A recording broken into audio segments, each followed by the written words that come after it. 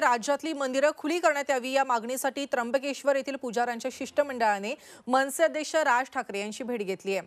राज ठाकरेंच्या मुंबईतील कृष्णकुंज या निवासस्थानी ही भेट घेतली असून सद्यस्थिती सांगून मंदिरं खुली करण्याची मागणी या पुजाऱ्यांनी केली आहे. भाविकांना मंदिरात प्रवेश मिळावा ही सर्वांचीच इच्छा आहे आणि यासाठी राज ठाकरेंनी प्रयत्न करावा अशी अपेक्षा पुजाऱ्यांनी व्यक्त केली आहे. मंदिरं खुली झाली पाहिजेत असं राज ठाकरे यांचं मत असून हा प्रश्न फक्त त्र्यंबकेश्वरचाच नाही तर राज्यभरातला आहे. आणि त्यामुळे शासकीय पातळीवरती राज ठाकरे बोलणार आहेत. आणि यानंतर पुन्हा या महत्त्वाच्या शिष्टमंडळाला भेटणार आहेत. आणि यावेळी मनसेचे ज्येष्ठ नेते बाळा नांदगावकर नितीन सरदेसाई पक्ष सरचिटणीस संदीप देशपांडे माजी नगरसेवक संतोष धुरी हे उपस्थित होते.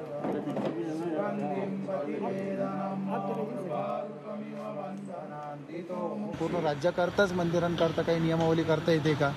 आणि याकरता काय प्रयत्न करता येईल?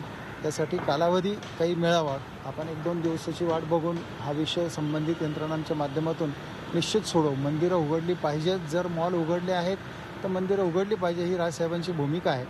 आणि आम्ही पण त्यांच्याशी आज झालेल्या या बैठकीनंतर भेटीनंतर निश्चित रूपाने आश्वस्त आहोत. आणि आता ही मंदिरं किंवा उघडणं किंवा भाविकांच्या श्रद्धेच्या निमित्ताने या मंदिरांवरती असलेले श्रद्धा प्रकट होणं संपूर्ण श्रावण महिना आजचा उद्या संपतो आहे दोन दिवसामध्ये. त्या पार्श्वभूमीवरती या विषय मार्गी लागतो आहे ही एक समाधानाची बाब आज आहे असं आम्हाला निश्चित आहे. सर्व त्र्यंबकेश्वरच्या पुरोहित मंडळींनी त्यांना विनंती केली की त्यांच्या पूजांसाठी मंदिरं त्यांना उघडून दिली जावीत. त्यावेळेला राजसाहेबांनी त्यांना असं सांगितलं की हा प्रश्न त्र्यंबकेश्वर किंवा एका मंदिरापुरता मर्यादित नसून हा संपूर्ण सगळीकडेच अशा पद्धतीच्या अडचणी आहेत. तर सरकारने त्याच्यासाठी काहीतरी नियमावली काय आखून सरकार देत आहे ते झाल्यानंतर एक दोन दिवसामध्ये ते सरकारमधल्या महत्त्वाच्या लोकांशी बोलून त्याच्यानंतर ते यांच्याशी परत भेटणार आहेत आणि त्यांना काय करता येईल ते सांगणार आहेत. मंदिरं उघडली पाहिजेत हे त्यांचं मत आहे नक्कीच पण त्याच्यासाठी नियमावली तयार करणं आधी महत्त्वाचं आहे.